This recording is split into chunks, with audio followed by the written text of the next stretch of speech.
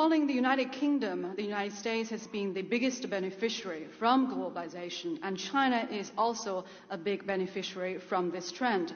So we want to work with all other parties in the global One community. of the big. One of the big beneficiaries from globalization 请大家理解，中文是联合国的官方语言，所以我要用中文发言。 I hope you will understand as Chinese is one of the official languages of the UN, so I should speak in Chinese here.